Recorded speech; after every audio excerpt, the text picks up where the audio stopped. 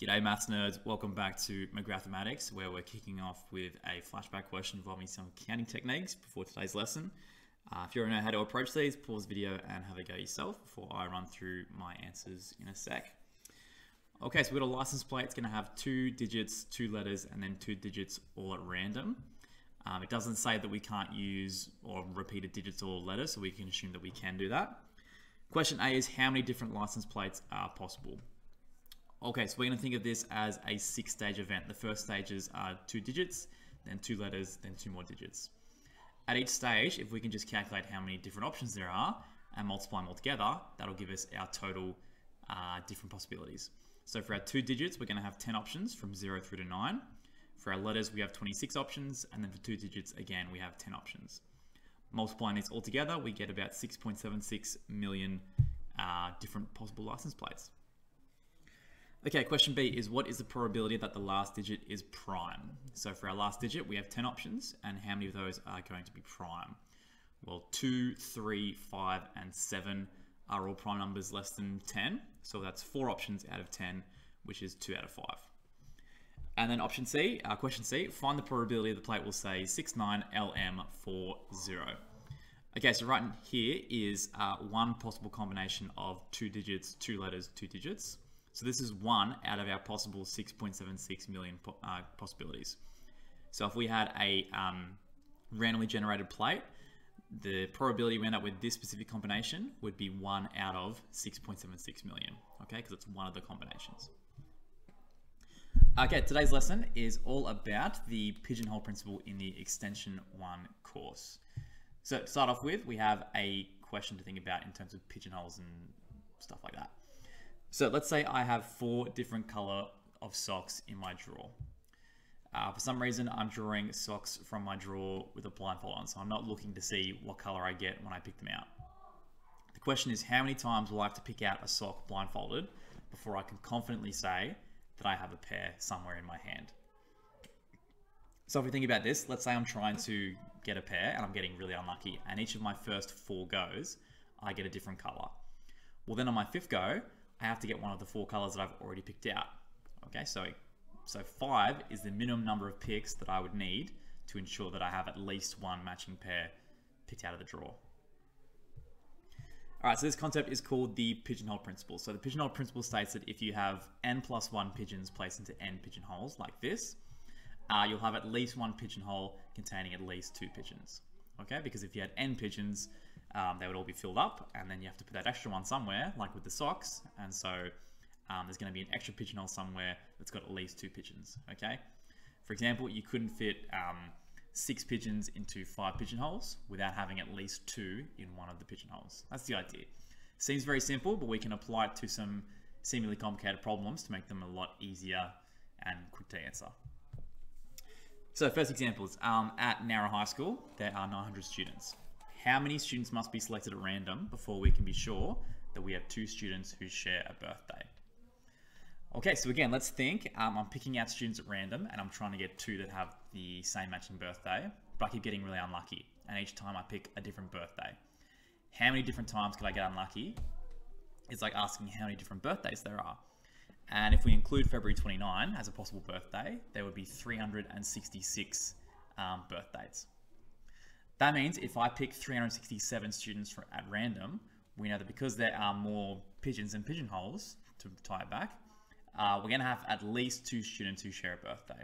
Okay, so we figure out how many pigeonholes there are, and we would need one extra pigeon. So 366 dates means we need 367 students to be confident that we have at least two students matching. Question two, what is the minimum number of people needed to guarantee that at least two people have the same initials for their first name and surname? Okay, so we're trying to say how many people we need to gather to be confident we have two people sharing initials. So we need to figure out how many different possible initials there are. Okay, so initials are two letters, um, which means there are 26 times 26 possible combinations, 26 for the first letter, 26 for the second. So in total, there should be 676 combinations of initials. That means if we selected 677 people, we have one extra pigeon than our number of pigeonholes, which means they're going to have to have at least two people who are matching up and having the exact same initials.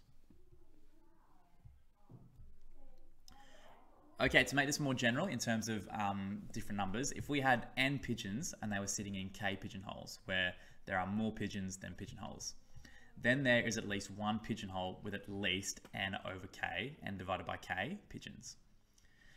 All right, to make uh, more sense of this, I'll give you some numbers and some context. So let's say we had five pigeons and they were sitting in two pigeonholes. So n is five, k is two. Then one of the pigeonholes must have at least five divided by two, which is 2.5 pigeons. Uh, however, there should be a full stop there. However, since the boxes can't have half pigeons, uh, that means that we must have at least one of our pigeonholes having three. Okay, we could have two and three, three and two, four and one, one and four, five and zero, zero and five. All of those possibilities uh, have at least one pigeonhole with at least three pigeons. Okay, so when you have two numbers, if you divide them, it gives you your minimum number per pigeonhole, is the idea. Let's apply this to a couple of examples. Here's our first one. At um, Nowra High School, there are seven Year 11 maths classes and 117 students in total. Show that there is at least one maths class with 17 students. Okay, so we're going to think of our pigeons as our students and our pigeonholes are going to be our classes. So we have 117 pigeons shared amongst uh, seven pigeonholes. So if we do 117 divided by 7, we get 16.7, so 16 with a remainder and this number is bigger than 16. That tells us because if we share them out evenly amongst all classes, all classes would have 16 and there'd still be some leftover students that would need to go somewhere. This tells us, using the generalized pigeonhole principle, there must be at least one class that has more than 16 students, so it must have at least 17 students. Okay, question four is kind of the reverse logic of this. It says uh, if n cows are put into two paddocks, there is at least one paddock with 15 cattle what is the value of n? Okay, so we're saying if we divided n number of cows amongst two paddocks, um, there'd be at least one paddock with 15 cattle. So that's this value would be greater than 14. Okay, so uh, we're going to multiply the two across and say n is greater than 28. And so if n is greater than 28, the smallest possible value of n is going to be 29. Okay, so if you had 29 cows shared between two paddocks, you're always going to have one paddock have, having at least uh, 15 cows. Okay, these two examples are pretty similar to the ones before, so if you feel like you're getting this, I encourage you to pause the video and try these by yourself before I run through the solution. Um, or if you just want to watch along, how am I going to possibly stop you? All right, question five. We have 50 baskets of apples. Each basket contains no more than 24 apples. Show there are at least three baskets containing the same number of apples. So for this one, our pigeons are our baskets of apples and our pigeonholes are our categorization of how many apples they have. Okay, you can have um, we can have one apple, you can have two apples, all the way up to 24 apples. Okay, so our 50 baskets are being divided into one of 24 categories. So using our generalized pigeonhole principle, we can do 50 divided by 24. This gets us a value of 2.083, so 2 with a remainder. So this number is larger than 2. Okay, this tells us that if every single um, category of apples from, from 1 to 24, if we share the 50 baskets amongst them, there will be two in everything, and then there'll be a leftover, which is going to fill up another one and give us three. Okay, so this is enough to show that using the pigeonhole principle, there has to be one basket at least with greater than two, so we say at least three apples. Okay, question six, we are doing X number of wizards divided amongst four houses, and there are at least 55 wizards in at least one house. So we know that when we do X divided by four, there are at least 55, so this value is going to be larger than 54. Okay, so you always do one less and it works out really nicely. Multiply the 4 across and we get x is bigger than 216, so the smallest possible value is going to be 217. Okay, 217 wizards divided amongst four houses, you're always going to have at least 55 wizards in at least one of the houses. Okay, and a bit of a tricky one uh, to finish off this section. We've got a box containing 4 red, 6 green, 8 blue, 10 yellow, and 12 white balls. What is the minimum number of balls we need to choose randomly from the box to guarantee we have eight of the same color? Okay, so let's think about we're trying to get eight of the same color and we're getting unlucky as humanly possible and it's taking us as long as possible, okay? Let's say the first four that we picked were um, red and then the next six we picked out were all the green ones. And then we didn't get all the blues, we only got seven of them. And then out of the 10 yellow ones, we got seven. Remember, we're trying to get eight, we're getting really unlucky. Then our next seven picks are all white. Okay, so we've got all the reds, all the greens, and seven from blue, yellow, and white. So we still haven't quite got um, eight of one color yet. So so far we picked 31 balls out, okay? Now if we pick out one more, it can't be red, it can't be green, it's got to be blue, yellow, or white. So one of these categories is going to turn into an eight, and now we know we'll have eight balls of the same color. Okay, that tells us that uh, the 30 second ball is the one that for sure has to at least put us over 8 in at least one of the colors. So 32 is the answer. Okay, let's uh, rip into some HSC questions. This first one is from the recent 2022 HSC. It's a band 3, so it's not super, super spicy. Uh, we've got a Sports Association manages 13 junior teams. It checks the age of all players. If any team has more than three players who are above the age limit, they're going to be penalised. We know that there are 41 players in total who are above the age limit, so will any team be penalised? Justify your answer. Okay, so to get full marks, you don't just need a yes or a no here, you need to explain your answer, hopefully using the pigeonhole principle. Okay, so have a go if you want, otherwise I'm about to go through the answer and spoil it for you. Okay, so 41 players um, are above the age limit and we have 13 teams. So in terms of our context of pigeons and pigeonholes, we're going to say the 41 players are our pigeons, um, and we're dividing them into 13 teams, which are our pigeonholes. So if we do 41 divided by 13, we get 3.15, or another way you could write this is 3 remainder 2. This means if we were sharing the players evenly amongst the 13 teams, they would have you would have 3 in each team, and then you'd have um, 2 teams that go into 4. Okay?